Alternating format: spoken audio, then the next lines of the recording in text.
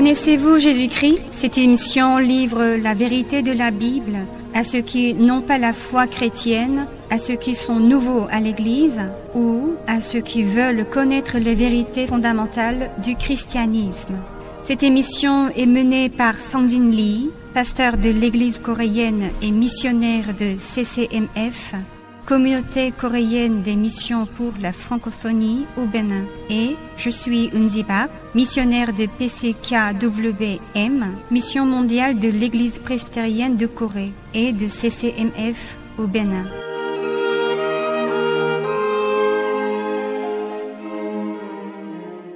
Bonjour pasteur. Bonjour. Beaucoup de gens demandent pourquoi le christianisme dit que tout le monde est pécheur. Certains sont très offensés et disent Je n'ai jamais volé quoi que ce soit, ni jamais trompé qui que ce soit jusqu'à présent. Pourquoi tu me traites de pécheur Oui, on entend souvent les gens le dire et ils ont une raison suffisante à cela. Je ne suis ni un meurtrier, ni un volé. Je n'ai jamais frappé personne. Je ne jette même pas de déchets dans la rue. En général, j'aide beaucoup les autres. Mais pourquoi je suis pécheur Si vous avez quelqu'un qui dit cela et qui se met en colère, comment devrions-nous répondre à cette personne? J'ai rencontré pas mal de gens comme ça et j'aimerais bien leur expliquer et leur prêcher l'Évangile, mais beaucoup d'entre eux sont offensés et rejettent l'Évangile. Certaines personnes ferment la porte de leur cœur lorsqu'elles entendent qu'elles sont des pécheurs. Il est donc difficile de les évangéliser. Je pense que parmi les auditeurs qui nous écoutent maintenant, certains pourraient avoir une telle expérience. Peut-être que certains d'entre vous pensent en ce moment Oh, c'est moi qui me suis mis en colère en disant cela dans le passé. Hmm. J'aimerais poser la question suivante à ceux qui étaient offensés au début. Vous allez à l'église maintenant. Alors, comment vous sentez-vous? Vous êtes toujours offensé quand on vous dit que vous êtes en péché? Plus nous vivons une vie chrétienne et fréquentons l'église, plus nous nous rendons compte que nous sommes des péchés. Et nous rendons grâce à Dieu qui a aimé des péchés comme nous. Oui, tout à fait.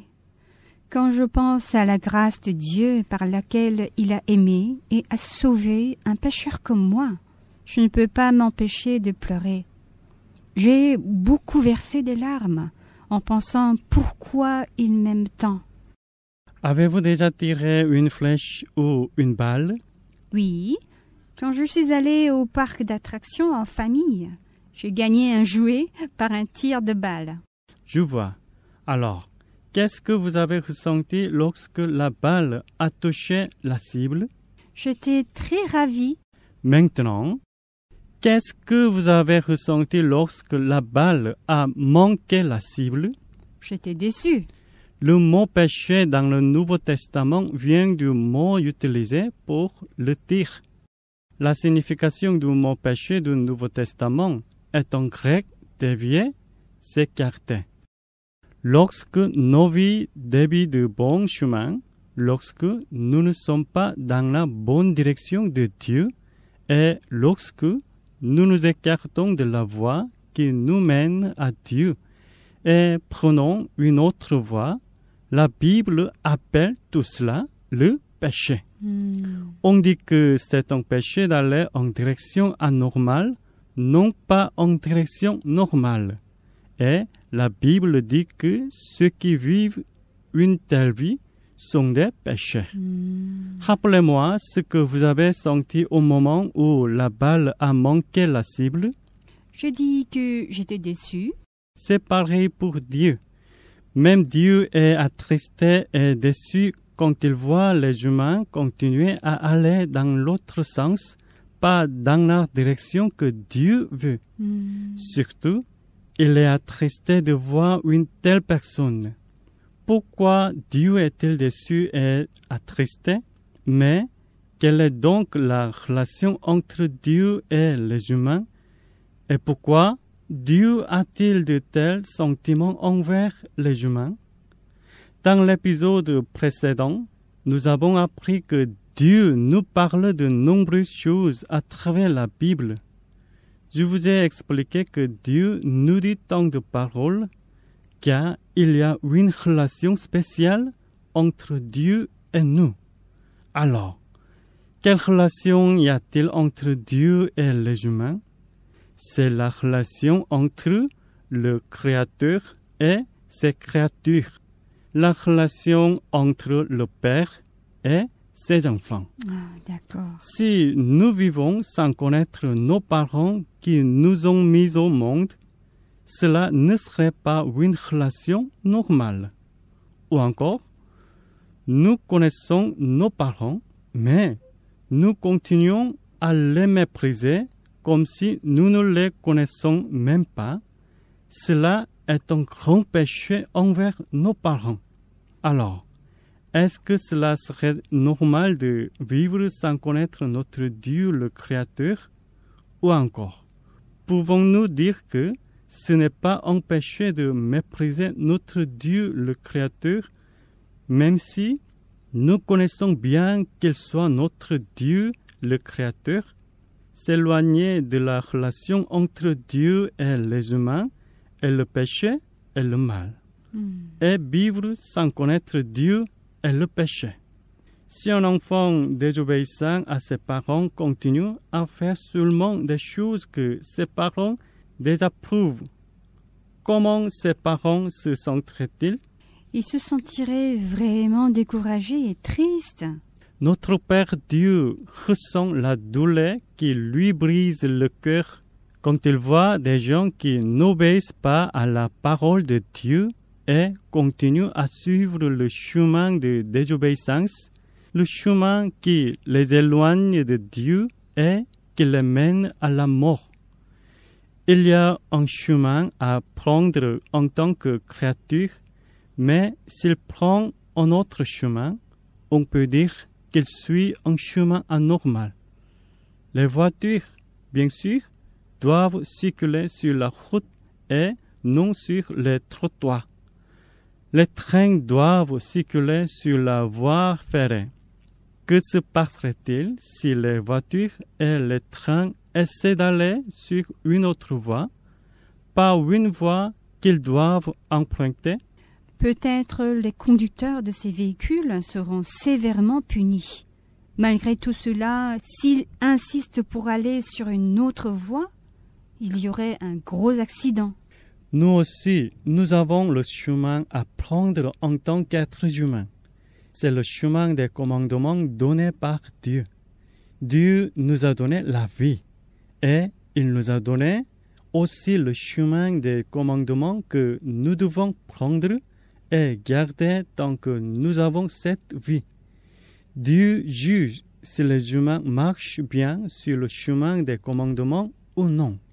Dans les évangiles synoptiques, un docteur de la loi a posé une question à Jésus pour l'éprouver.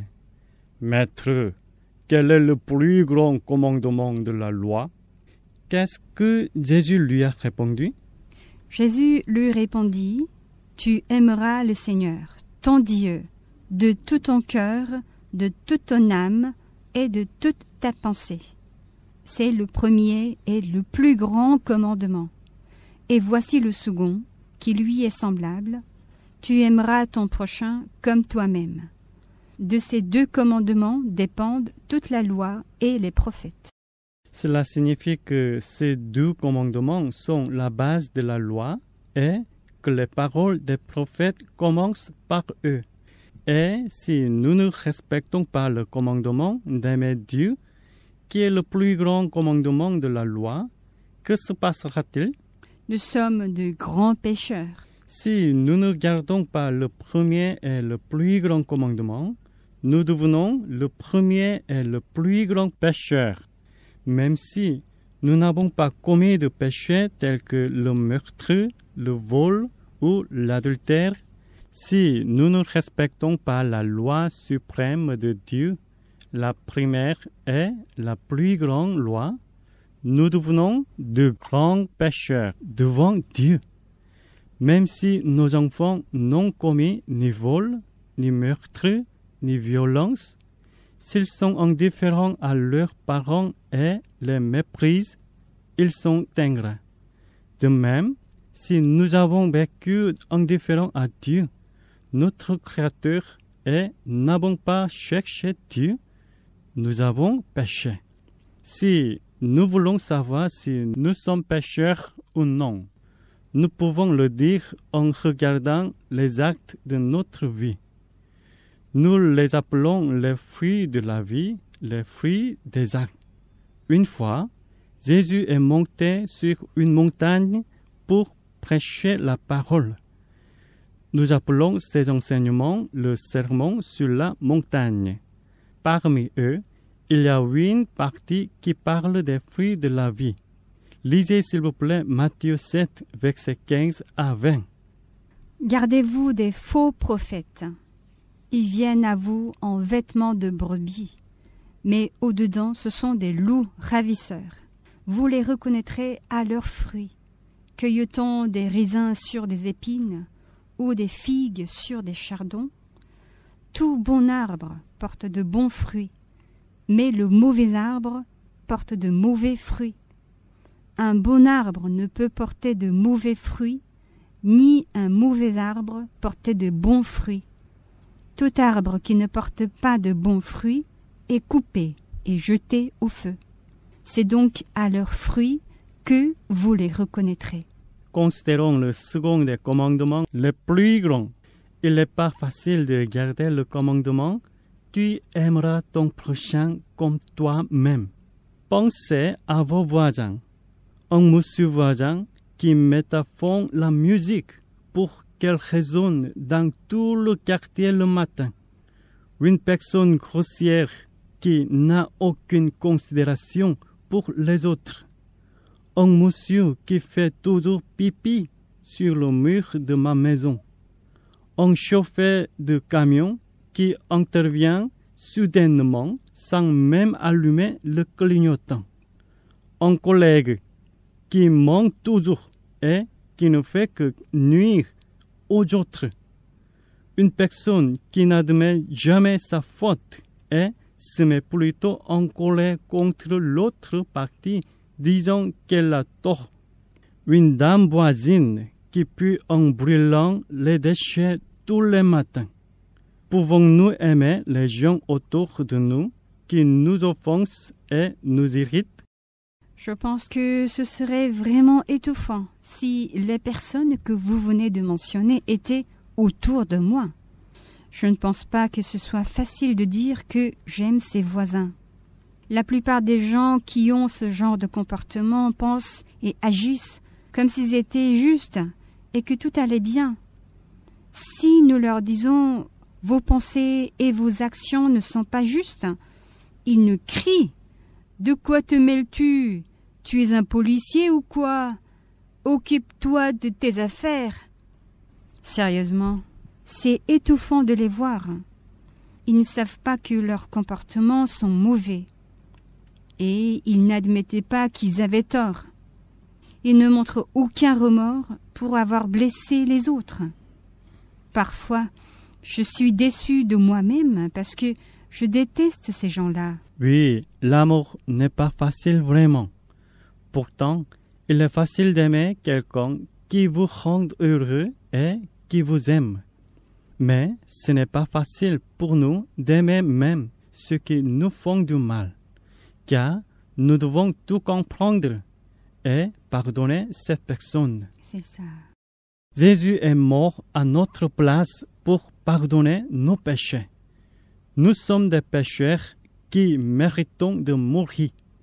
Mais Jésus nous a sauvés et il est mort à notre place. Il nous a montré en amour que nous, en tant qu'êtres humains, ne pouvions ni imaginer ni imiter. Jésus a même prié Dieu de pardonner à ceux qui lui crachaient au visage, le fouettaient, le clouaient sur la croix et se moquaient de lui. Il n'est pas facile d'aimer quelqu'un d'autre parce que les humains ont une tendance et un désir de commettre des péchés. Depuis le péché d'Adam et Ève, tous les humains naissent avec les gènes du péché. Même si je ne commets pas de maître, de vol ou d'actes violents, cela ne signifie pas que je suis libre des fruits du péché. Si vous haïssez ceux qui agissent ainsi et les insultez, c'est aussi le fruit de votre péché.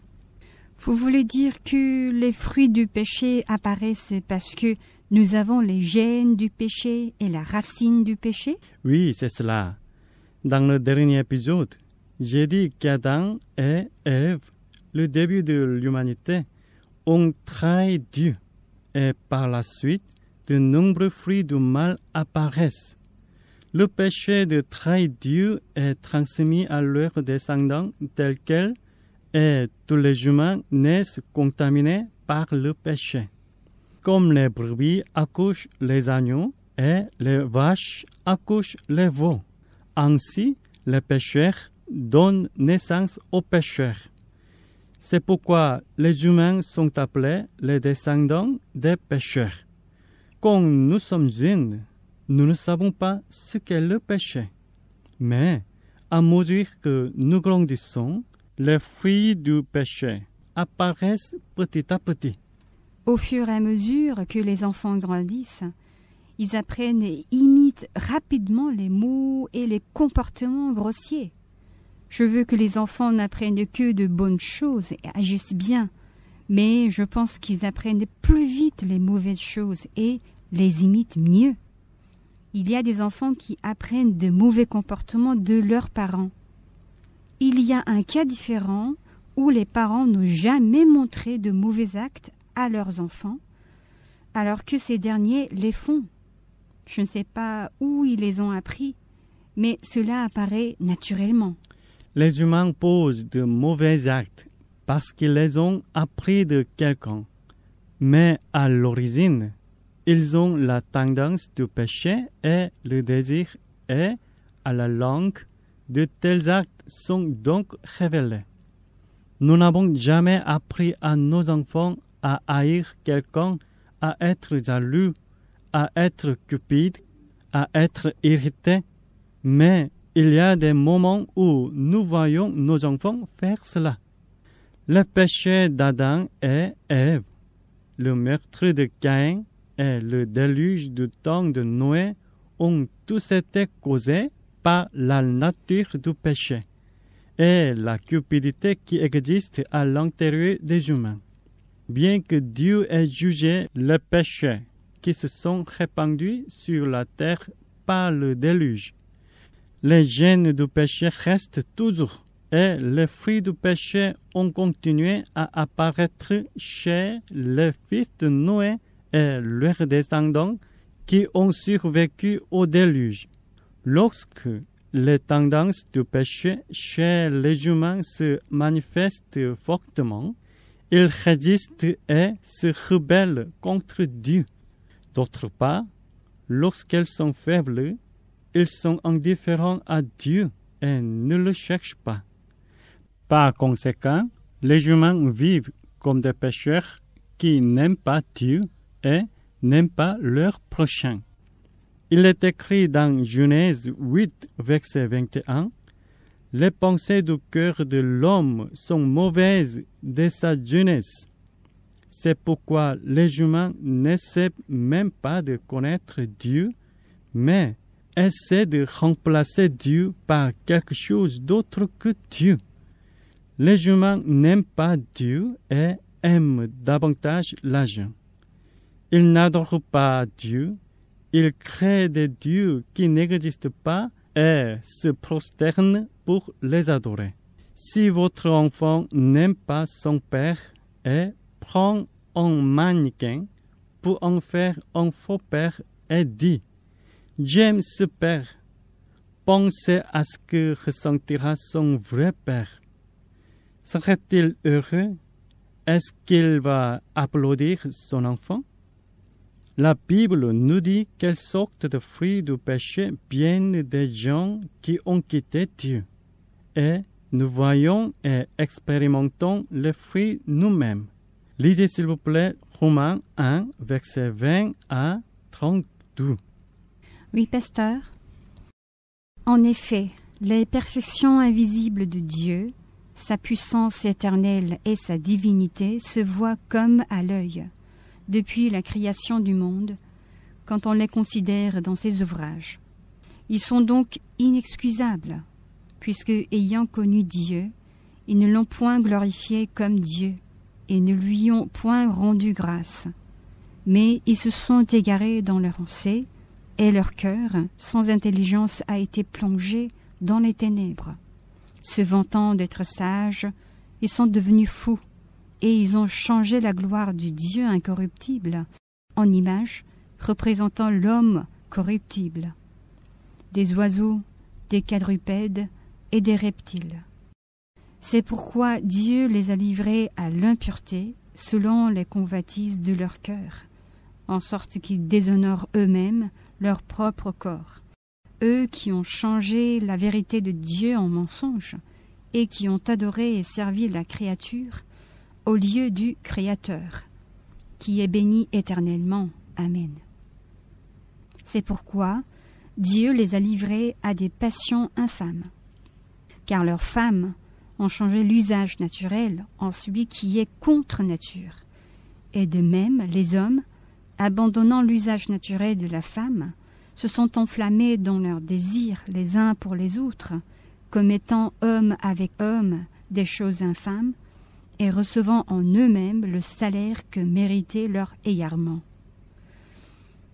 Comme ils ne se sont pas souciés de connaître Dieu, Dieu les a livrés à leur sens réprouvé, pour commettre des choses indignes, étant remplis de toute espèce d'injustice, de méchanceté, de cupidité, de malice, pleins d'envie, de meurtre, de querelles, de ruse, de malignité, rapporteurs, médisants, impies, arrogants, hautains, fanfarons, ingénieux au mal, rebelles à leurs parents, dépourvus d'intelligence, de loyauté, d'affection naturelle, de miséricorde.